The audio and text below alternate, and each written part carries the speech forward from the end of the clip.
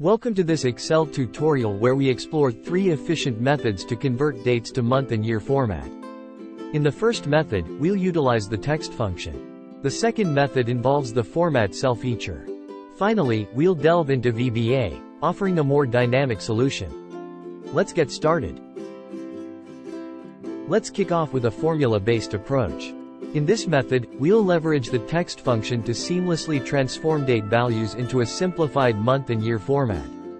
The Excel text function converts a numeric value into text string with a specified format. You can convert all the standard number formats such as dates, times, currency to text string in Excel.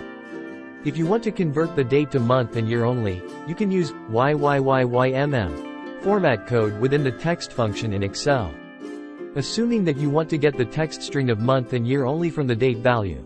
The 1st of December 2018 in cell B1. Then you can enter the following text function into cell C1. Equals text. B1. YYYYMM.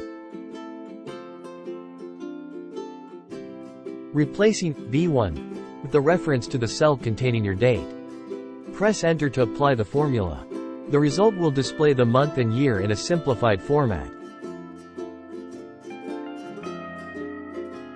Now, let's shift our attention to the second method, employing the Format Cell feature. This user-friendly approach allows us to visually tailor date formats without delving into complex formulas. Select the cell or range of cells containing the date values. Right-click and choose Format Cells from the context menu. In the Format Cells dialog box, navigate to the Number tab. Choose Custom from the category list. In the type field, enter the desired date format code, such as YYYYMM.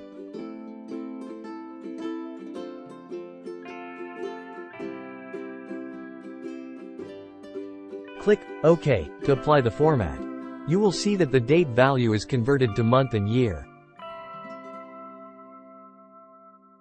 And finally, let's unravel the third method, a more advanced approach involving VBA code.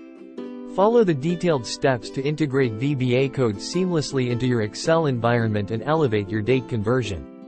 Press Alt plus F11 to open the Visual Basic for Applications VBA, editor. Insert a new module by right-clicking on any item in the Project Explorer, selecting Insert, and then choosing Module.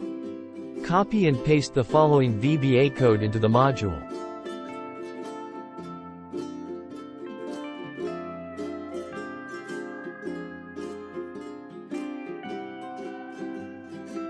Close the VBA editor. In a cell, enter the formula equals convert to month year, B1, replacing B1 with the reference to the cell containing your date. Press enter to apply the formula. The result will display the month and year in the desired format. Now you're equipped with three versatile methods for converting dates to the month and year format in Excel. If you found these methods helpful, consider subscribing for more Excel tips and tricks. Thanks for watching, and stay tuned for more valuable content.